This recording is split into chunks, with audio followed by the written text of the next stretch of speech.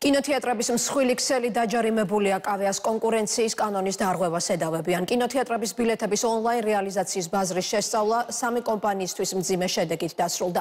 კავიას გარდა სოლიდური ჯარიმების გადახდა მოუწევთ კომპანიებს TicketJis და BiletJis. დავის საგანია ის შეთანხმება, რომლის მიხედვით TicketJim კავიას ბილეთების გაყიდვის ექსკლუზიური უფლება მიიღო. მაკონტროლებელი უწყების გადაწყვეტილება დიდი ალბათობით სასამართლოში გასაჩივრდება. დაჯარიმებული კომპანიები სამართლებრივი დავის დაწყებას არ გამორიცხავენ. 1 მილიონ 600.000 ლარი ჯარიმა სამ კომპანიას ბაზარზე კონკურენციის შეზღუდვისთვის. საქართველოს კონკურენციის და მომხმარებლების დაცვის სააგენტომ კინოთეატრების ბილეთების ონლაინ რეალიზატორები დააჯარიმა. საქმე ეხება შეთანხმებას, რომლის შედეგადაც ტიკეტ ჯიმ კავიასგან ბილეთების გაყიდვის ექსკლუზიური უფლება შეიძინა. დარღვევა მდგომარეობს იმაში, რომ ამ ექსკლუზიური უფლების შეძენაზე მოლაპარაკებები საჯარო არ ყოფილა და ამ პროცესში ბაზრის სხვა მოთამაშეებს მონაწილეობის მიღება არ შეეძლოთ. დაირღვა კონკურენციის შესახებ საქართველოს კანონის მეშვიდე მუხლი. კონკურენციის საწინააღმდეგო შეთანხმება.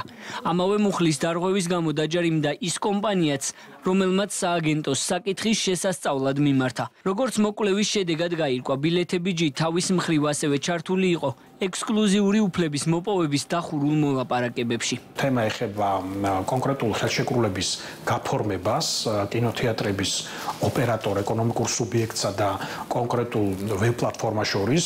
ამ შემთხვევაში ეს არის თინეთის ფლობელი TicketJi, სადაც ჩაიწერა ექსკლუზივის პირობები და ეს გულისხმობს იმას, რომ კინოთეატრის ბილეთების რეალიზება უნდა მომხდარიყო მხოლოდ ერთი ვებ პლატფორმის საშუალებით, რამაც შექმნა არაკონკურენტული ვითარება ბაზარზე, რადგანაც სხვა მოთამაშეებს შეეზღუდათ აღნიშნული ბილეთების რეალიზაციის უფლება. მოკლევის პროცესში ჩვენ მივმართეთ შუამდგომლობის სასამართლოს, სადაც სასამართლომ გაიზიარა ჩვენი პოზიცია და აღნიშნული ექსკლუზივის პირობა იქნა შეჩერებული და მოკლევის დასრულებამდე სხვა სუბიექტებსაც მიეცათ ბილეთების რეალიზების საშუალება და ეს დღეს უკვე შესაძლებელია, თუმცა საბოლოო ჯამში მოკლევის შედეგებმა აჩვენა, რომ ორ კომპანიას შორის ადგილი ჰქონდა კონკურენციის საწინააღმდეგო შეთანხმებას კომპანიები ამ ეტაპზე მედიასთან კომუნიკაციისგან თავს იკავებენ, თუმცა სატელეფონო საუბრისას აღნიშნავენ, რომ საკუთარი უფლებების დასაცავად იბრძოლებენ. დაჯარიმებული კომპანიებიდან ერთ-ერთი კი სააგენტოს გადაწყვეტილებას ნაწილობრივ იზიარებს.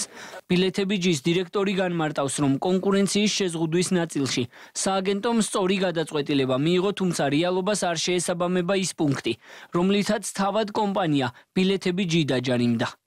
ვეთანხმებით სააგენტოს გადაწყვეტილებას იმ ნაწილში, რომ სააგენტო მიიჩნია კინოცა და ტეკეტოს შორის გაფორმებული ხელშეკრულება ბაზრის შემზღუდველ შეთანხმებად, გადაწყვეტილების შედეგად შესაძლებლობა მისცა ბილეთების დაბრუნებულიყო ბაზარზე.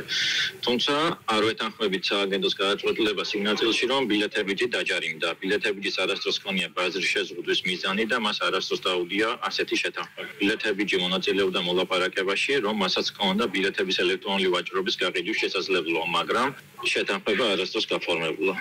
კონკრეტული დეტალების შესწავლამდე საკითხის შეფასება უჭირს ელექტრონული კომერციის ასოციაციას. მათი განმარტებით მნიშვნელოვანია, რომ კონკურენციის სააგენტო ბოლო პერიოდში აქტიურობს და ბევრი საკითხის შესწავლით არის დაკავებული, რაც მოთამაშეებს სამართლიანობის განცდას უმყარებს.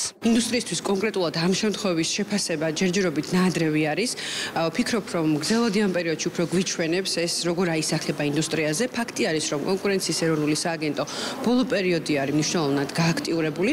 ზოგადად კონკურენციის ეროვნული სააგენტოს არსებობა ამ ინდუსტრიაში, ელექტრონული კომერციის ინდუსტრიაში განსაკუთრებით არის ძალიან მნიშვნელოვანი, ვინაიდან ინდუსტრიის მიმართ ნაკლები ნდობა არსებობს, შესაბამისად ესეთი მარეგულირებელი ორგანოს არსებობა და მისი აქტიური ჩართულობა და მუშაობა მნიშვნელოვანი არის მომხმარებელთა კეთილგანწყობის მოპოვებაში და შესაბამისად უკვე გრძელვადიან პერიოდში მომხმარებელთა რაოდენობის ზრდაში. სანქციების დაწესების პარალელურად კონკურენციის სააგენტომ გასცა რეკომენდაციებიც, რომლის შესრულებაც სავალდებულო ხასიათისაა. უწყებაში არ გამორიცხავენ, რომ გარკვეული პერიოდის შემდეგ რეკომენდაციების შესრულების შესამოწმებლად მონიტორინგი განახორციელონ.